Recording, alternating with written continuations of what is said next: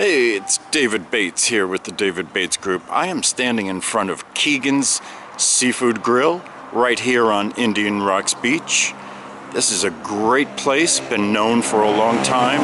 A lot of locals will come here for dinner. It's also been featured on diners, drive-ins, and dives. Great food, unusual kinds of foods mixed with the traditional kind. A lot of different kind of seafood. Uh, it's just a great location to come. Their gumbo grouper soup is just awesome. So come on out to Keegan's Seafood Grill on Indian Rocks Beach or give me a call, David Bates at 727-216-9229.